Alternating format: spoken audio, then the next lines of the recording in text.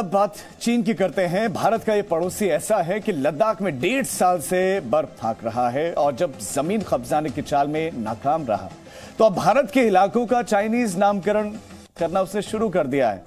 चीन ने भारत के अभिन्न राज्य अरुणाचल प्रदेश के कई इलाकों का चाइनीज़ नाम रख दिया है। भारत की भारत ने जो इस पर ऐतराज भी जताया है चीन की इस हरकत पर, लेकिन चाइनीज़ मीडिया का दावा है कि चीन अक्सर भौगोलिक नामकरण करता रहता है और आगे आगे भी वो करता रहेगा। चीन के घुसपैठिए सैनिक दर्जनों बार लाइन ऑफ़ एक्चुअल कंट्रोल पर घुसने में नाकाम हुए। चोरी छिपे भारत की ज़मीन पर घुसाने और तरह तरह के निर्माण करने की कोशिश करते चाइनीज़ पकड़े भी गए और खदेड़े भी गए। लद्दाख में तो चाइनीज़ फौज ने गलवान में हमला किया। चीन की सेना ने पेंगोंग में दखल करने की भी हर मुमकिन कोशिश की। लेकिन तमाम चालबाजियों के बावजूद ड्रैगन भारत की ज़मीन पर कब्जा करने में नाकाम रहा। तो अब चीन ने चली है नामकरण चाल। चाइनीज़ मीडिया ग्लोबल टाइम्स ने दावा किया कि चीन सरकार की सिविल अफेयर्स मिनिस्ट्री की ओर से ये नाम जारी किए गए हैं, जिसमें चीन ने भारत के अरुणाचल प्रदेश में मौजूद पंद्रह जगहों के नाम बदल डाले हैं। चीन की ओर से मैंड्रिन तिब्बती और अंग्रेज़ी भाषा में जारी इन नामों के साथ उन जगहों की भौगोलिक स्थिति भी दर्शाई गई है। और उन अक्षांश देशांतरों के मुताबिक वो हिस्से भारत के अंदर पड़ते हैं, जिनका चीन ने अपनी मर्ज़ी से नया नामकरण करने की कोशिश की है। इन पंद्रह नामों में आठ रिहायशी इलाकों के नाम हैं, जो अरुणाचल प्रदेश में हैं। इसके अलावा चीन ने चार पहाड़ी इलाकों का नाम भी रखा है, जो भारत में है।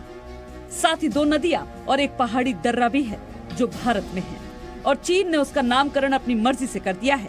हालाँकि चीन की इस हरकत पर भारत की ओर से सख्त ऐतराज जताया गया है। भारत के विदेश मंत्रालय के प्रवक्ता अरिंदम बागची की ओर से कहा गया है कि हमने ये रिपोर्ट्स देखी है। ये पहली बार नहीं है कि चीन ने अरुणाचल प्रदेश के इलाकों के नाम बदलने की कोशिश की है। चीन ने अप्रैल 2017 में भी ऐसी ही एक कोशिश की थी।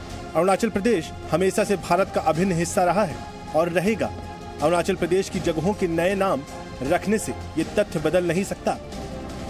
भारत की ज़मीन कब्जा करने की चाइनीज़ नीयत पहले भी बेपर्दा हो चुकी है, क्योंकि तीन हज़ार चार सौ अट्ठासी किलोमीटर लंबी लाइन ऑफ़ एक्चुअल कंट्रोल के पूर्वी उत्तरी सिरे पर अरुणाचल प्रदेश को चीन जबरत तिब्बत का हिस्सा बताता रहा है। चीन की हेकड़ी इतनी बढ़ चुकी है कि भारत में चाइनीज़ एम्बेसी ने छह भारतीय सांसदों को एक चिट्ठी लिखी है। इस चिट्ठी में तिब्बत के प्रशासन द्वारा आयोजित एक कार्यक्रम में उनके शामिल होने पर ऐतराज जताया है। इस पर all party Indian parliamentary forum for Tibet के संयोजक सुजीत कुमार ने भी सख्त विरोध जताया है।